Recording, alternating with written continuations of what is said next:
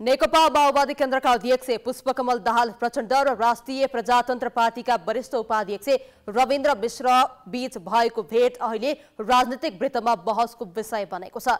राजनीतिक विश्लेषकहरूले प्रचण्ड कमजोर भएको बेला जसको पनि उपयोग गर्ने प्रवृत्ति रहेकोले राप्रपाको साथ खोजेको हो कि भन्ने आकलन गरेका छन्। तर कतिपय विश्लेषकहरूले भने प्रचण्डले अवस्था अनुसार जे पनि बोल्ने बानी लागेको टिप्पणी गरेका छन्। नेकपा माओवादी केन्द्रका अध्यक्ष पुष्पकमल दाहाल प्रचण्ड र राप्रपाका वरिष्ठ उपाध्यक्ष रविन्द्र मिश्र बीच गत मङ्गलबार खुमलटारमा भेट भयो। त्यसपछि मिश्रले फेसबुक मार्फत प्रचण्डसँग मनका कुरा भन्दै सात बुँदा उल्लेख गरेका थिए। यस्तो थियो मिश्रले उल्लेख गरेका हरफहरू। प्रचण्डसँग मनका कुरा।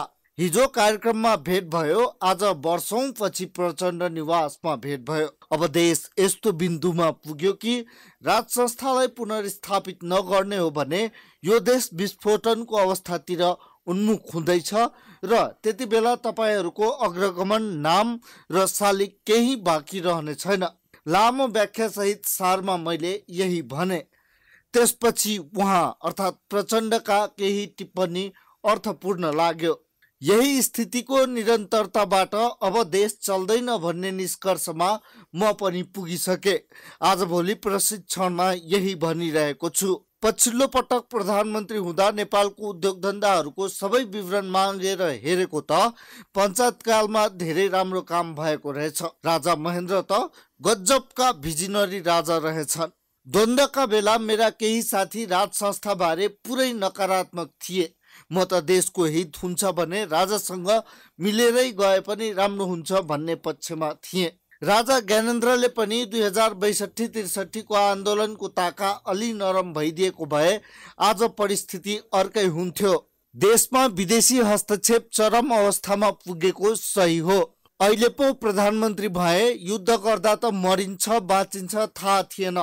देश बनाउनै भनेर सारा गरेको हो। अहिले पनि मेरो भावना देश नै बनाउनु पर्छ भन्ने हो। तर अब यसरी चाहिँ हुँदैन। म अहिले नै तपाईँको विचारसँग सहमत हुने स्थितिमा त पुगेको छैन। तर राति सुत्ने बेलामा सोच्न चाहिँ पर्ने अवस्था छ। निरन्तरतामा क्रमभङ्गता अत्यावश्यक भइसक्यो।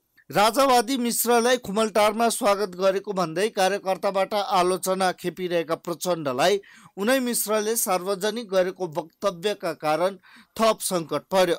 मङ्गलबार भएको भेटको सन्दर्भलाई लिएर मिश्रले गरेको टिप्पणीको प्रचण्डको सचिवालयले खण्डन नै गर्नु पर्यो। तर कतिपय विश्लेषकले भने प्रचण्डले आफू कमजोर भएपछि उपयोग गर्नको लागि जे कुरामा पनि सम्झौता गर्ने प्रवृत्ति रहेको बताउँछन्। पहिलो कुरा त ने नेपालको कम्युनिस्ट आन्दोलनमा जुन उग्रवाद विकास भयो दुई हजार बाहन्न सालदेखि पुष्पकमल दाल प्रचण्डले यो देशका सबैलाई मूर्ख बनाउनु भयो र उपयोग गर्नुभयो।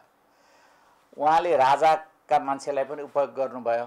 सबैभन्दा बढी उहाँका समर्थकहरू त राजाका मान्छेहरू थिए त्यो बेलामा आन्दोलनको बेलामा उहाँको सशस्त्र हिंसाको बेलामा। नेपाली काङ्ग्रेसका मान्छेलाई पनि उपयोग गर्नुभयो उहाँले। उहाँले एमालेका मान्छेलाई पनि उपयोग गर्नुभयो। उहाँले भारतलाई पनि उपयोग गर्नुभयो पश्चिमलाई पनि उपयोग गर्नुभयो। बरु उपयोग नभएको एउटा चिनिया शक्ति उसले चाहिँ के भन्यो भने हाम्रो माओ सेतुङको नाम दुरुपयोग भएको छ।